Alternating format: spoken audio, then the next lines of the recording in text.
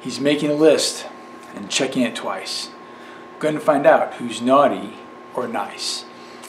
It's that dreaded naughty list that we uh, so often try to avoid, the, that naughty list that we try to uh, make sure that we are not on. But truth be told, we've all been naughty. We all have sinned. We uh, all have uh, done wrong. N- none of us is perfect. In fact, uh, you know, to, to err is human, is a saying that goes around. And so if we are uh, sinful, if we do wrong, if we uh, don't get it right all the time, what does that mean for us? Well, it means that we need a Savior. It means that we need a God who loves us. It means that we need um, someone to do for us what we cannot do for ourselves. And so, as we think through um, uh, the meaning of Christmas and why Jesus came and our need for a Savior, it always leads us back to the point that on our own we can't accomplish salvation.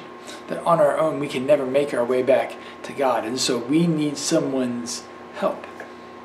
And so God sends us His Son, wrapped in human flesh, fully God and fully man in the same package. And he, he comes as a child to live through life just as we do, just as we have, so that he can uh, experience uh, all the things that we do, yet show us how to do so without sin. And that's hard for us to, to comprehend. That you can go through life and, and, and never do anything wrong. Because if truth be told, if we look back through our day, there are probably multiple cases, places, multiple times where we've gone, well, that wasn't the right choice. I could have done that differently. That may not have been uh, what God would have wanted me to do. And so, sometimes we sin by committing sin, by, by doing the wrong thing. And sometimes we commit sin by not doing the right thing.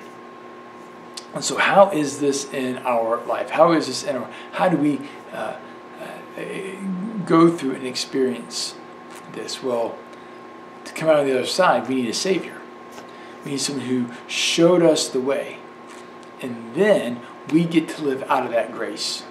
We get to live out of that favor that we don't deserve. That is not ours to, to keep or command, but it's ours to receive through faith and then to make progress in as we experience God's grace, we ought to, ought to draw us closer to Him so that sin is less evident in our life. And that as we go through this life, we then help others find that same grace.